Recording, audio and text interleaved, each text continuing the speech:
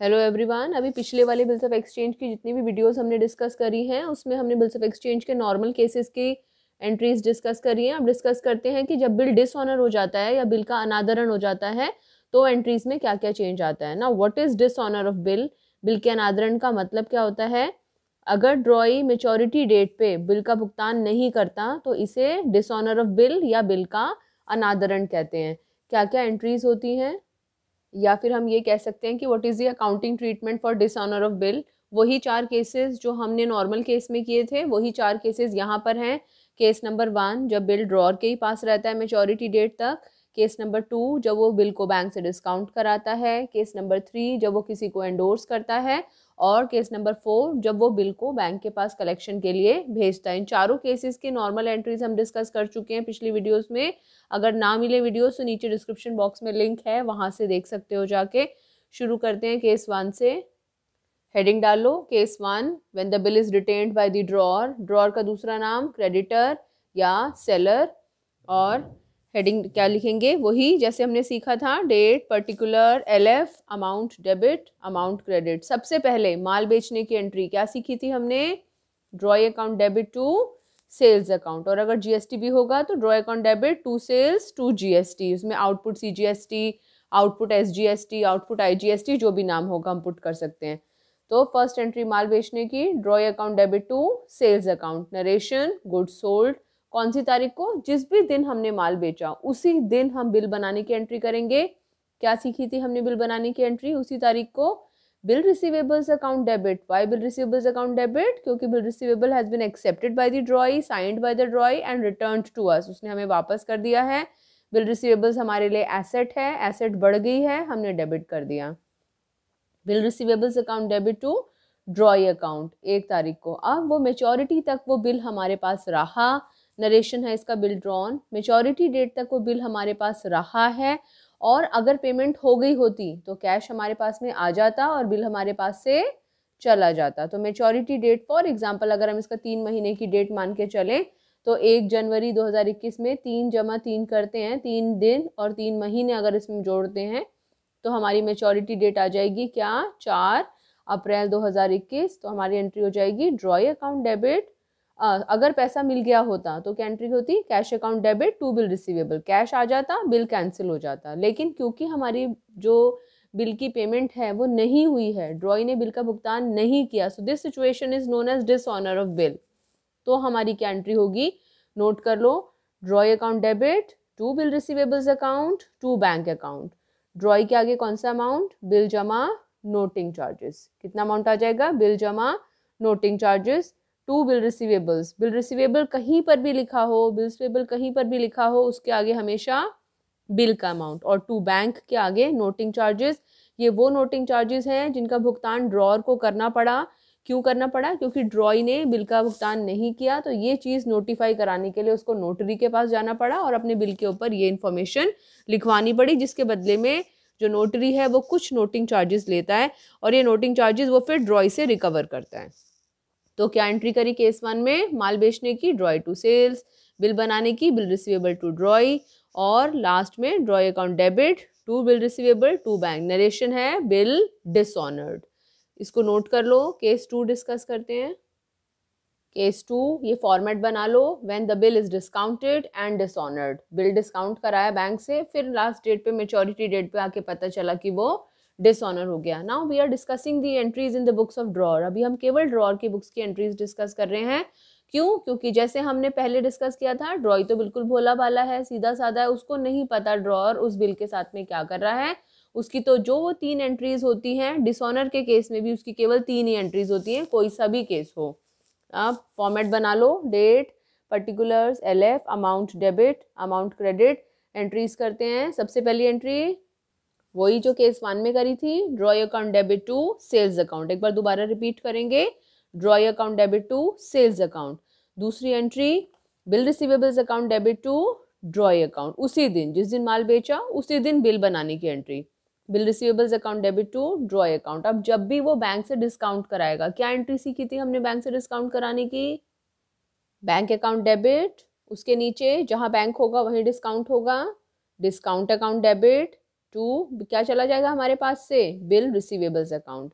क्या एंट्री हो गई बैंक से डिस्काउंट कराने की? एक बार दोबारा रिपीट करेंगे। Bank account debit, discount account debit to bill, receivables account. Narration, bill discounted with. Bank discount कैसे निकालेंगे? जो भी अमाउंट है, बिल का amount multiplied by rate multiplied by time जितने महीने का बिल है, उतने महीने।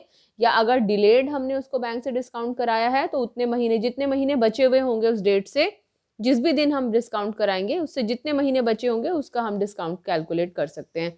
बहुत बार तो क्वेश्चन में दिया ही हुआ होता है।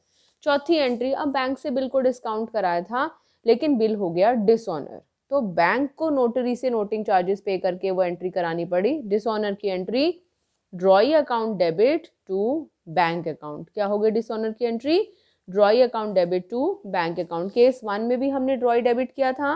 केस टू में भी हमने ड्रॉई को डेबिट किया, क्योंकि बैंक से डिस्काउंट कराया था तो बैंक पार्टी बन गया जिसको हमें भुगतान करना है। So drawee account debit to bank account. Drawee के आगे हमेशा बिल जमा, नोटिंग चार्जेस। बैंक के आगे बिल जमा, नोटिंग चार्जेस। तो चार एंट्रीज हो गई हमारी। Now moving on to case number three उससे पहले वीडियो को पॉज करके यहाँ तक नोट कर लो। Now case number three heading डाल लो when the bill is endorsed जब उसने बिल किसी को एंडोर्स कर दिया, पहली एंट्री दूसरी एंट्री में कोई चेंज नहीं। बताओ first entry drawee to sales second entry bill receivables account debit to drawee account third entry वो एंडोर्स कराने की एंट्री पिछली वीडियोस में भी करी है हमने endorsee account debit to bill receivables account जिस भी दिन वो एंडोर्स करने को कहेगा, वो हम यहाँ पर डेट लिख देंगे. Now last entry maturity date पे पता चला कि वो बिल डिसऑनर हो गया बिल डिसऑनर हो गया। फ़र्स्ट एंट्री में ड्रॉय डेबिट किया था, सेकेंड एंट्री में ड्रॉय डेबिट किया था तो थर्ड एंट्री में क्या कुछ चेंज हो जाएगा? क्या करेंगे? Drawee account debit to endorsee account. Bank से डिस्काउंट कराया था तो एंट्री हो गई थी। Drawee account debit to bank account. उसके पास ही रहा था तो क्या एंट्री हो गई थी? Drawee account debit to bill receivables to bank account. Okay? तो केस नंबर थ्री है, जब एंडोर्स करा और डिसऑनर हो गया तो drawee account debit to endorsee account drawee के आगे हमेशा कौन सा अमाउंट बिल जमा नोटिंग चार्जेस एंडोर्सी के आगे कौन सा अमाउंट बिल जमा नोटिंग चार्जेस अगर बिल पाँच हज़ार का है नोटिंग चार्जेस सौ हैं तो अमाउंट कितना हो गया? पाँच हज़ार जमा सौ. कितना होता है? इक्यावन सौ. यहाँ पर लिखा है इक्यावन सौ, यहाँ पर लिखा है इक्यावन सौ. Next when the bill is sent to the bank for collection फिर से चार केसेस सबसे पहला, सबसे पहली एंट्री बताओ फटाफट. Drawee account debit to sales account दूसरी एंट्री बताओ bill receivables account debit to drawee account तीसरी एंट्री बताओ, जब हमने बिल को कलेक्शन के लिए भेजा bill sent for collection account debit to bill receivables account narration bill sent for collection अब ये बिल हमने कलेक्शन के लिए भेजा और हो गया डिसऑनर ठीक है? केस वन में डिसऑनर में ड्रॉय को डेबिट किया. केस टू में हमने डिसऑनर में ड्रॉय को डेबिट किया, केस थ्री में हमने डिसऑनर में ड्रॉय को डेबिट किया तो केस फोर में हम अलग कैसे हो जाएँगे? तो मेच्योरिटी डेट पर जब हम बिल को डिसऑनर करेंगे, किसको डेबिट करूँ? ड्रॉय को ड्रॉय अकाउंट डेबिट और ड्रॉय के आगे हमेशा कौन सा अमाउंट आएगा?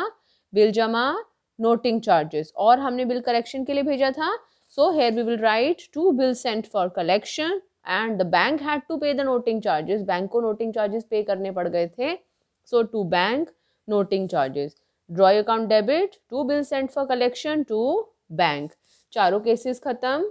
नोट कर लो इसको फटाफट. अब ज़रा इन चारों केसेस की समरी देखते हैं. क्या ये इतनी सारी एंट्रीज हैं जो हमें याद रखनी है, या ये एक ही जैसी एंट्रीज हैं, बस केवल हमें इनको समझना है और हमें कुछ नहीं करना? So the what is the summary of all four cases in all the four cases the first entry माल बेचने की एंट्री हमने क्या की है? Drawee account debit to sales account ये in the books of drawer we are discussing बार बार मैं repeat कर रही हूँ ड्रॉय की एंट्रीज अभी हमने डिस्कस करी ही नहीं है. So drawee account debit to sales account दूसरी एंट्री और अगर सेल्स के साथ में जीएसटी भी दे रखा हो तो drawee to sales to output C G S T to output S G S T और अगर आई जी एस टी हो तो सीधा to output I G S T साथ साथ में इसको याद करते चलो, कभी बाई चांस कोई क्वेश्चन आ जाए एम सी क्यू में पूछे तो आपको पता होना चाहिए.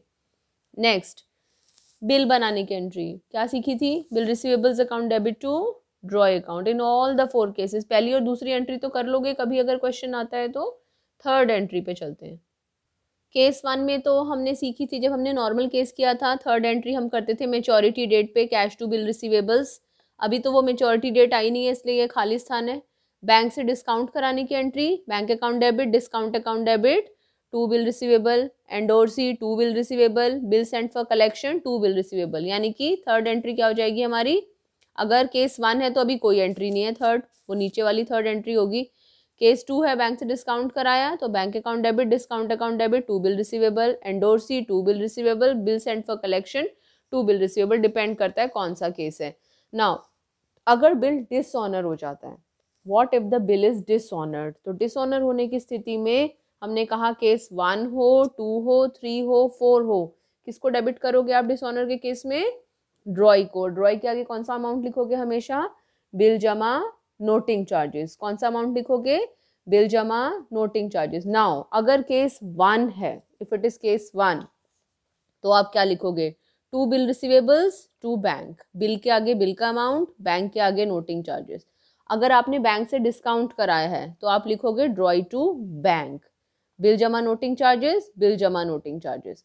अगर आपने एंडोर्स किया है तो drawee to endorsee bill जमा नोटिंग चार्जेस, बिल जमा नोटिंग चार्जेस।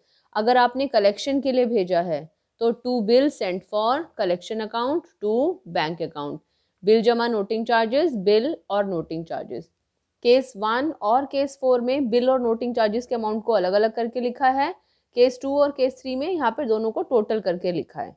और हमें कुछ नहीं करना ये अगर आप याद कर लेते हैं तो आप कोई भी केस आए, आप आसानी से क्वेश्चन को कर सकते हैं। अब बचा हमारा ड्रॉई ड्रॉई तो हमारा सीधा साधा भोला भाला है। In the books of drawee debtor या बायर कोई भी केस हो वन टू थ्री फोर उसकी एंट्रीज नहीं बदलती। सबसे पहले परचेजेस टू ड्रॉर अगर जीएसटी होगा तो purchases input C GST input S GST input I GST to drawer simple entry purchases to drawer अब ड्रॉर को पकड़ लो। ड्रॉर टू बिल्स पेबल अब बिल्स पेबल को पकड़ लो।